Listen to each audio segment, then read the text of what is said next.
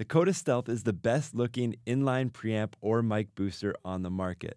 Its slick black design makes it very camera friendly. It does supply a whopping 28 dB of clean gain to your dynamic or ribbon microphone. If you were to use the Coda Stealth with the Focusrite Scarlett 2i2 and the Shure SM7B, instead of having your gain pinned all the way up at 100%, you would be down around 45% or so.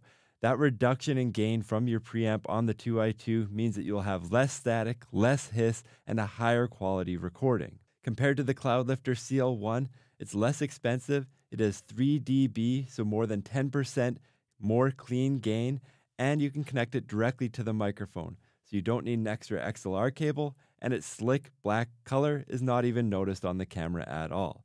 If you want to see the full comparison and review of all these inline preamps, check out the link that I pinned down in the description and in the comment section below.